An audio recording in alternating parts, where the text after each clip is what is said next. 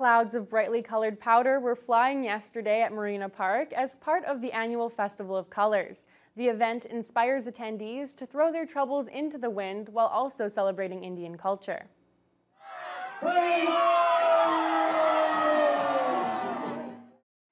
Color throws happened every 30 minutes with an interactive dance in between. The festival is an Indian tradition that goes back thousands of years and is a joyful reminder to cast away bad feelings and worries. Organizer Prashant Jani says they've been hosting the event in Thunder Bay for around 10 years now, and he's overwhelmed by how much the community has embraced the tradition.